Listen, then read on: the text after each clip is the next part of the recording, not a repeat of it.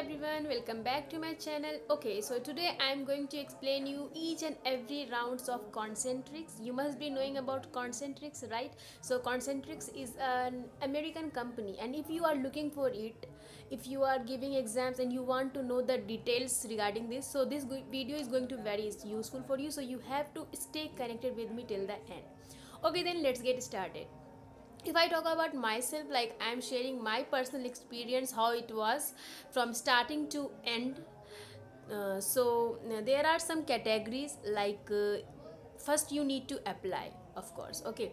So there are categories like uh, if you want to apply non voice then you can go for non voice if you want to apply voice then you can go for voice. And there is technical and non technical jobs also like bpo and technical.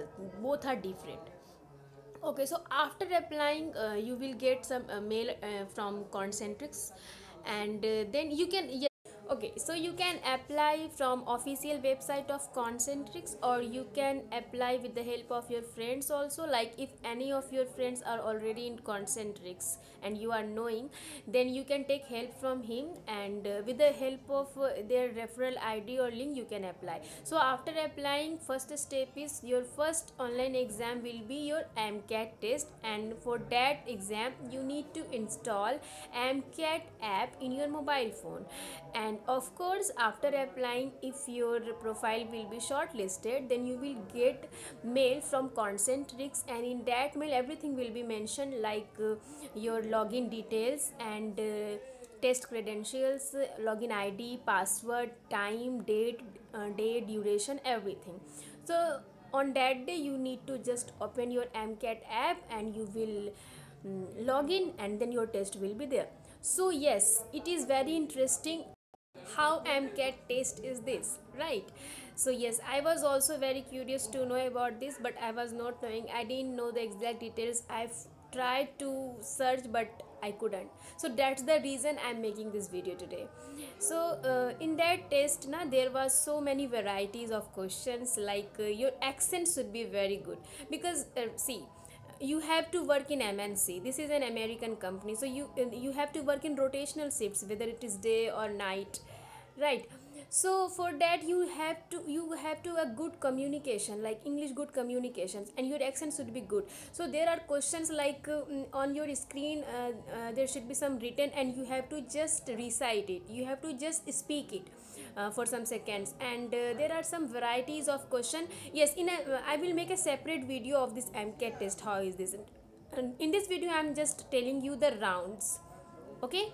I'll make separate video about this mcat so after this mcat test na i got a call from hr so first round was mcat test and second round was hr round. So i got an audio call so um, and hr was there and uh, he asked me some very very simple simple questions not very that much tough he asked uh, first please uh, tell me something about yourself my introduction part and some my hobbies and why i'm interested in this company and uh, also from uh, my educational background and uh, also are you ready to relocate and are you vaccinated? He asked me to this question also and some more questions were there but very simply uh, simple and you can just easily answer.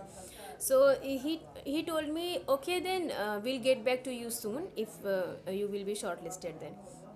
I said okay. And uh, yes in the, on that day only evening i got a mail.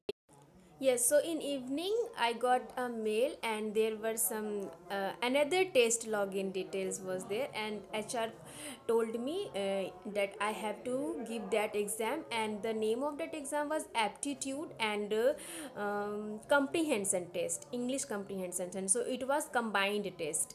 And yes this was little bit uh, tougher uh, than the previous one.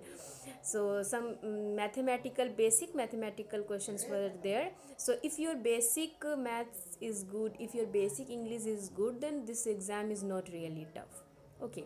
So yes it uh, there were also questions uh, like uh, percentage based and there were full of more of them questions was from uh, what i was going to say. Yes profit and loss. More questions were from this only and the aptitude question was very lengthy and and from english comprehension so there was there were questions and uh, yes uh, i had to write uh, two or three essay also. So this was only and uh, their criteria was if i got 60 more than 60 percent then i'll get mail for, for another round. So the third round was aptitude and comprehension test okay? And the fourth round was uh, then after two to three days i got call from hr again. And then he told me uh, that uh, uh, i'm going to schedule your interview and uh, with manager. So the fourth round will be your manager operation operational manager round okay so after two or three days and then uh, i received uh, the details on my mail and then after 2 to 3 days i i gave my interview. So uh, this was all. So there were basically four rounds okay so for that interview i had to install smart meet app. Hr told me that be ready. My interview was in evening at uh, sharp 5 o'clock.